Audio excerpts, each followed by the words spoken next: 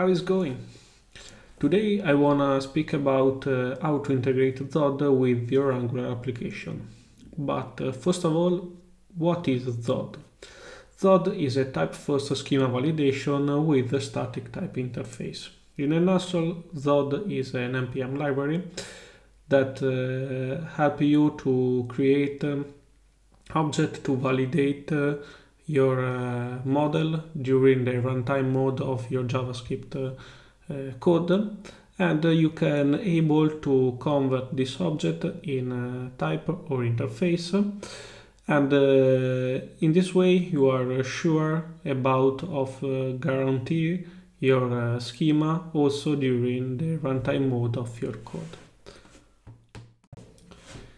A very quick example using the Zod documentation. As you can see, you have to import Zod.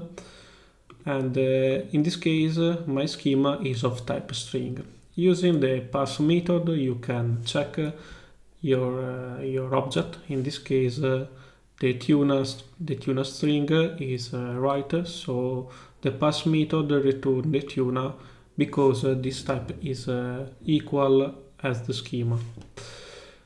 Otherwise, if uh, you parse uh, an object different uh, of your schema, for instance 12, a number 12 in this example, the pass method raise an exception, a Zod error, and inside of this this error you can um, you can see the the error uh, because uh, your object uh, not satisfy your schema.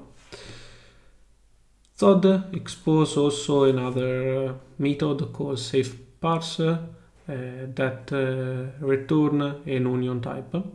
In this case, uh, if uh, the object is uh, right, you uh, you get an object with a success property with with the type with the value of true, and in the data property you get the your object the, the, the right object.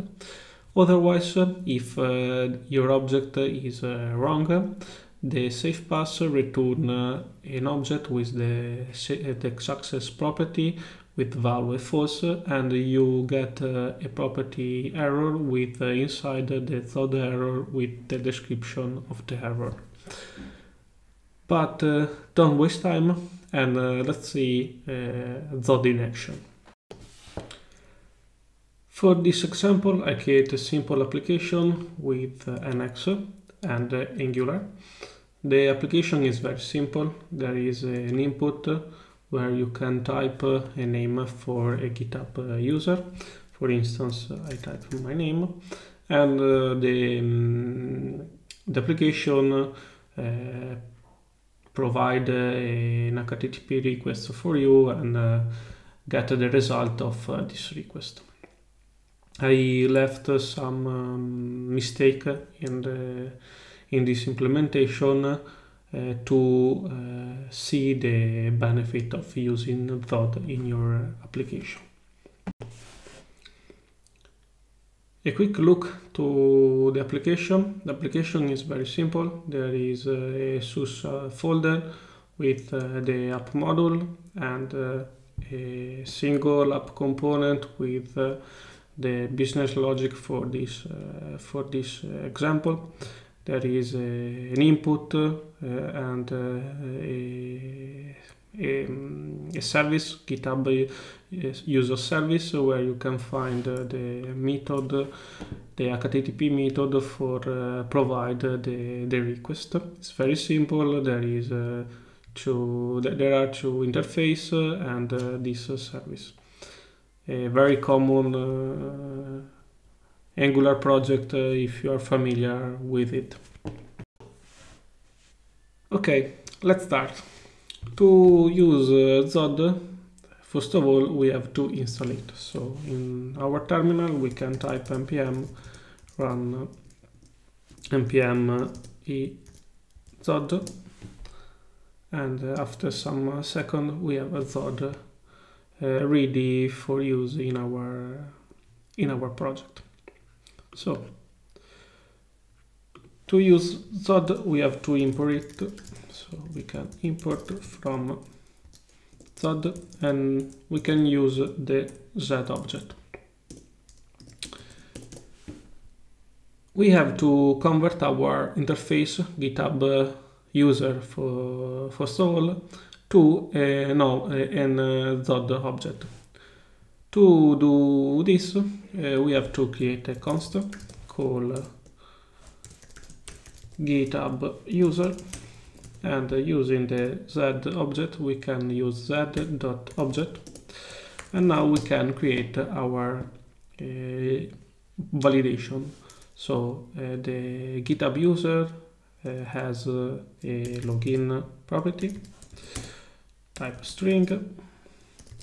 As you can uh, see the z uh, object uh, expose all the type for create the, the schema. So login id z dot string uh, avatar url z dot string url z string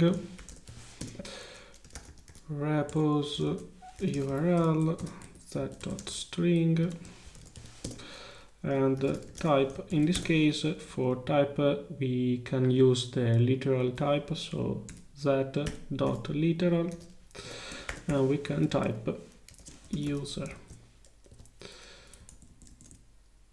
User.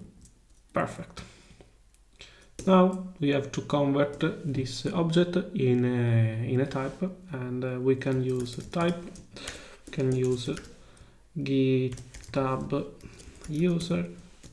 And now using the thread infer we can convert the github user uh, object in a interface. So using the operator type of github user now we can remove the github interface github user interface perfect we have the first uh, schema and our first uh, type of uh, GitHub user. Now we have um, to do the same thing for the GitHub user search response. So const GitHub user search response z dot object and items. In this case z dot array and github user is the type of our array. And then total uh, underscore count z dot number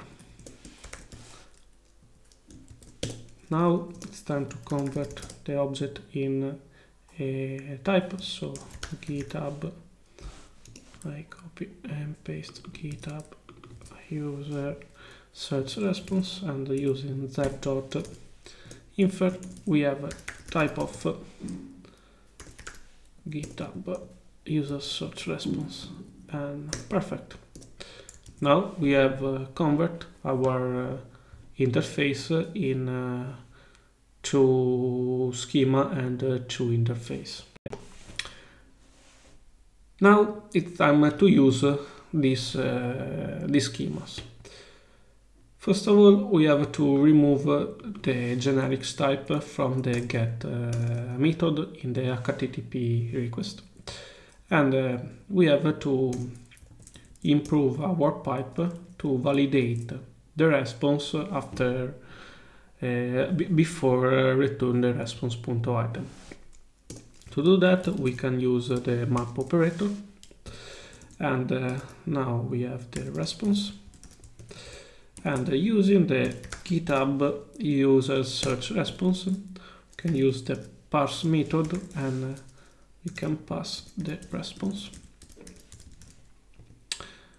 as you can uh, notice now here the response is of type object so uh, is a generic type after uh, this step response is of type github user search response so so using Zod, we can uh, uh, we can guarantee the type during uh, build time, but also during uh, runtime. So because uh, this uh, method uh, will be executed during uh, during the runtime mode of this code. And after this method this method if the response is like expected by this schema we get we go uh, to the next step. So we can uh, return response.items otherwise uh, the parse method uh, raise an exception and uh, we have to handle it. Okay perfect. Now we have uh, our schema and we have validate our response. So we can save and uh, it's time to run our application. Npm run start. And when all it's okay. We can go to the um, to the browser. I okay perfect. If I open my console clean I type I type puppo and uh, whoa, there is an error. So, as uh, I said, uh, I saw, um, I said before, I made some mistake uh, in the previous interface. In this case, I use the string type for the ID instead of using the number type. As you can uh, see, Zod in this case when uh, the, um, the HTTP request, the, um, the get return the result, try to validate our, our, um, our schema and the ID is of uh, type number. But uh, in my schema I put the string value. So, uh, and uh, in this case, Zod uh, return an, uh, raise an error because the schema is different from from the object. Perfect. Now uh, we can uh, uh, fix this simple error. So we can go to the GitHub user and z.string uh, become z.z.number. Perfect. Now we can restart the application and if I type, type puppo, boom, I have another error. Oh, probably this is a mistake.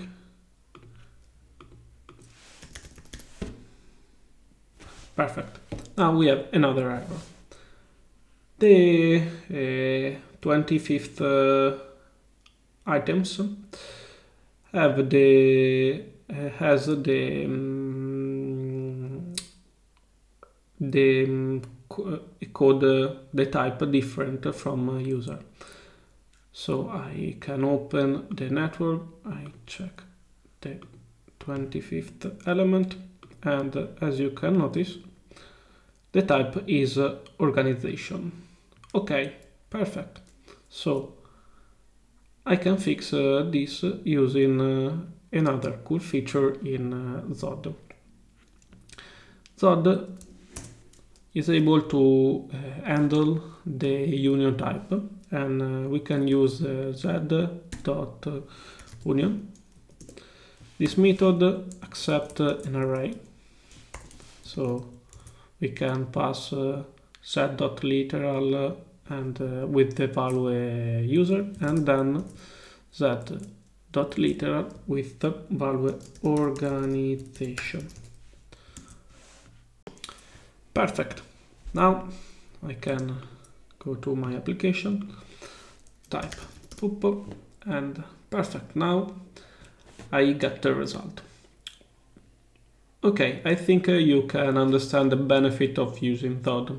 so you can uh, guarantee your type also during the runtime mode and if you if someone uh, change your API uh, and uh, you don't know about uh, about this uh, if you have a good uh, logger you are able to uh, to get not notification from this uh, from this error and you are able to fix quickly this this problem before your customer call your boss probably.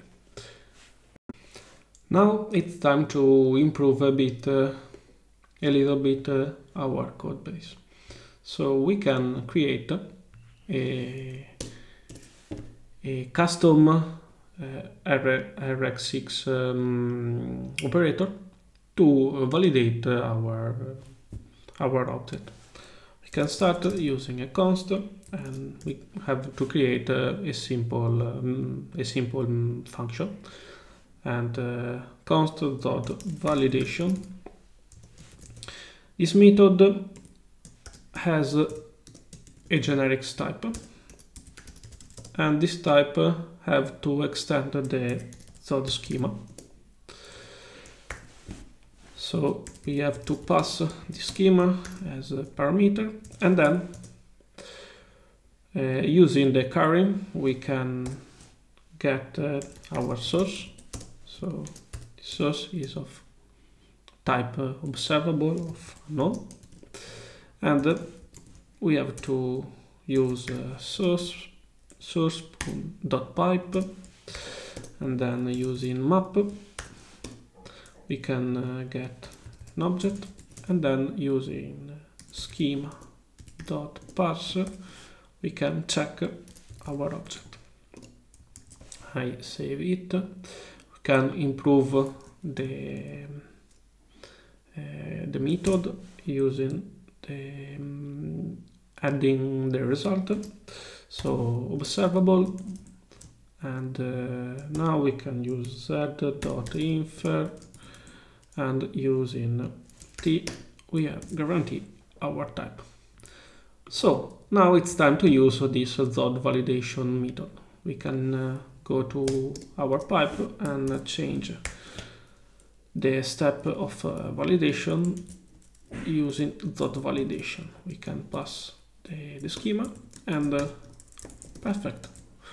Now our application use, use the Zod validation method to validate uh, our our response, but we can use uh, this Zod validation operator in uh, all the application to validate uh, the object. We can use uh, for HTTP requests, but uh, also for WebSocket or other stuff.